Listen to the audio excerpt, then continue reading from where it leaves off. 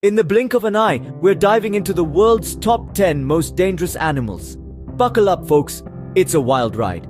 At number 10, the poison dart frog, small but lethal, carrying enough venom to extinguish 20 men. Number 9, the African elephant, the largest land animal, whose powerful trunks and tusks can cause devastating damage. 8th, the saltwater crocodile, an ambush predator with a deathly grip. 7. The Cape buffalo, responsible for more hunter fatalities in Africa than any other creature. At 6, the cone snail, its venom paralyzing its victims almost instantly. Halfway at 5, the golden poison frog, a single specimen can kill 10 grown men.